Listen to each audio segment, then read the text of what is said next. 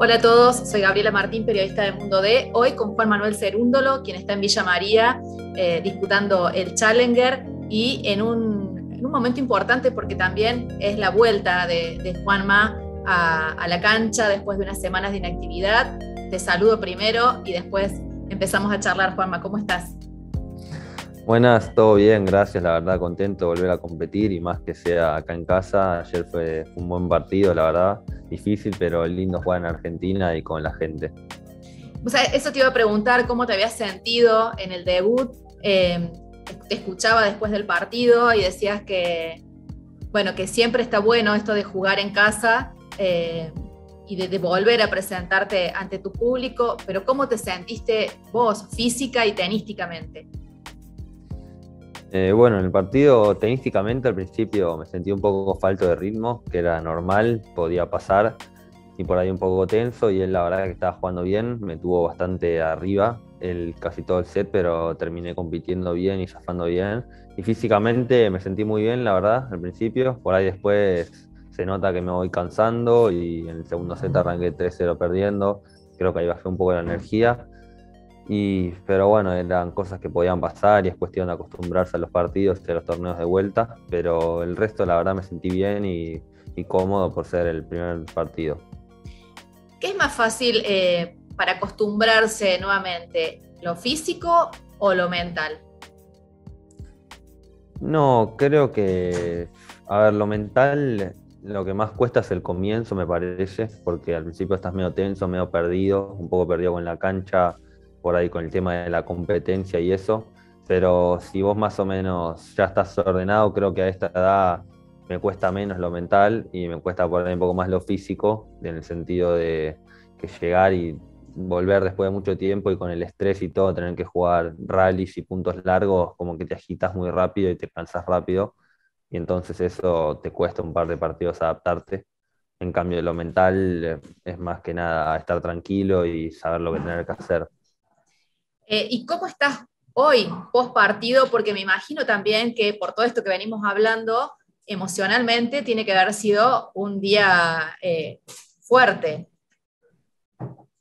Sí, la verdad que sí, fue un día, a ver, no sé si lo tomaría como fuerte, pero sí, fue, es difícil volver, como te digo, me termino cansado, termino agitado, mentalmente sí, es como volver un poco a las canchas, yo me siento un poco presionado en el sentido de que quiero volver, quiero ganar y, y es complicado, no es fácil hacerlo de una, pero, pero sí, hay, que estar concentrado y seguir, seguir tranquilo que el torneo todavía sigue. Bien. Eh, Córdoba es eh, como un punto importante en tu carrera. Ganaste el primer torneo ATP en 2021, un año después no pudiste defender los puntos, te bajaste antes del, torneo por, por toda esta, esta, esta seguidilla de, eh, que, produjo, que produjo la lesión. Y hoy Córdoba, la provincia, Villa María, es eh, sede de tu retorno después de unas semanas de, de, inactividad. ¿Qué sensaciones te genera o qué, cuál es el recuerdo más fuerte o el más lindo o no que te genera estar en Córdoba? Bueno, claramente sí, en Córdoba creo que lo primero que se me viene a la cabeza es cuando gané el título. Es obvio que me encanta venir acá, me siento cómodo con las condiciones, es, es, linda la provincia, la gente, así que me siento muy bien y sí, a pesar de haber tenido, bueno, tuve el mejor torneo de mi carrera, el año siguiente me pasó que arranqué con todas las lesiones este año, digamos, y también fue uno de los peores momentos de mi carrera, pero creo que recuerdo más el, título ATP, me quedo con eso más que con lo otro y es, sí, eso es lo que se me viene a la cabeza. Eh, recién lo mencionabas también, esto de a raíz de, del cansancio que, te va generando eh, esta eh, falta de, de, regularidad en los torneos. Eh, ¿Cambió tu juego en algo? ¿Preferís ahora jugar, no sé, puntos más cortos? Eh, ¿Eso hizo la lesión y todo lo que pasó después hizo que tuvieses que readaptar tu juego? En cierto punto creo que tuve que incorporar cosas dado la lesión. Hubo momentos en que no me podía mover tan bien, ahora me siento moviéndome bien, pero al no poderme mover tan bien tuve que incorporar un poco mi juego agresivo, que antes no lo tenía tan aceitado por ahí y ahora estoy tratando de mejorarlo más y tratando de jugar puntos más cortos por ahí, atacando más con la derecha y cerrando puntos en la red. Pero bueno, en torneo obviamente cuesta porque no es, no es natural en mi juego, siempre mi naturalidad estaba más en el juego defensivo, pero a poco lo voy incorporando y estoy tratando de hacerlo porque sí, claramente con la lesión tuve que readaptar un poco mi juego. ¿Querés recordarle a quienes estén mirando esta entrevista cuál es la lesión?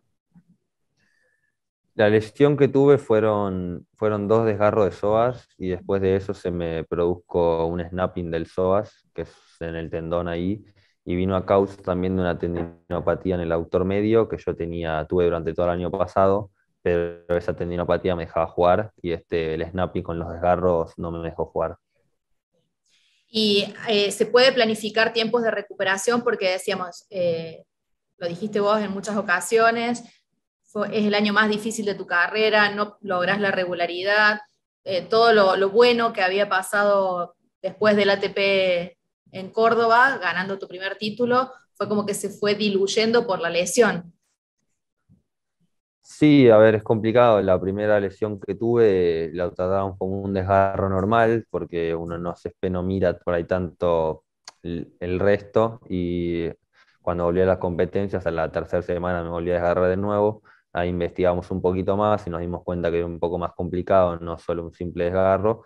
Y arrancamos como analizar todas las opciones y ahí se ponen tiempos de recuperación pero a la vez el snapping del SOAS es algo nuevo, entonces no, hay no había tanta información tampoco, entonces no era fácil hasta que lo descubrimos más adelante. También pensamos que era la cadera, pero articularmente está bien.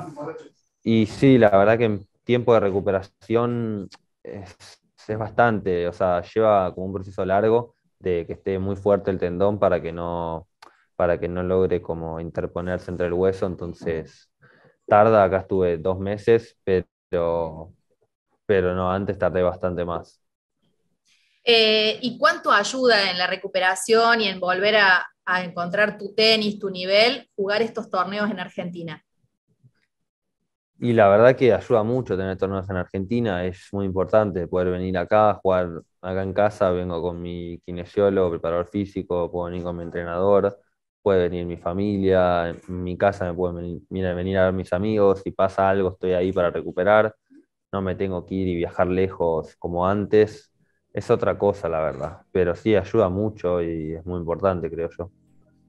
¿Y cuáles son las, expectativas, eh, más allá de, que todos tienen la expectativa de avanzar lo más que se pueda y ganar el torneo, digo, en tu caso particular, eh, después de, todas estas dolencias y que en muchas ocasiones dijiste que hoy te importa más tu salud que, el tenis. Eh, ¿Qué expectativas tenés para este torneo y para lo que viene, que estás en, en, la lista del Challenger de Buenos Aires?